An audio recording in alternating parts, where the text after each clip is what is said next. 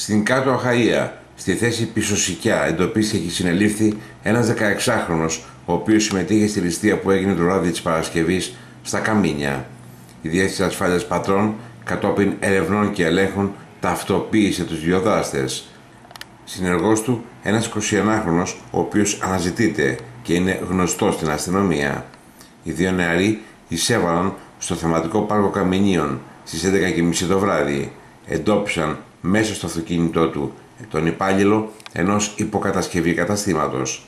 Τον ακινητοποίησαν με την απειλή μαχαιριού και στη συνέχεια άρπαξαν το κινητό του, ένα χρυσό δαχτυλίδι, χρήματα αλλά και μια γεννήτρια και ένα χορτοκοπτικό μηχάνημα. Στο τέλος, αφού τον έδεσαν, πήραν και τα μάξι του με το οποίο διέφυγαν.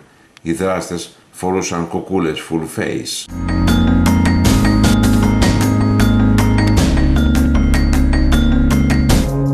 Κάραβελ σε συντροφεύει για μια ολόκληρη ζωή.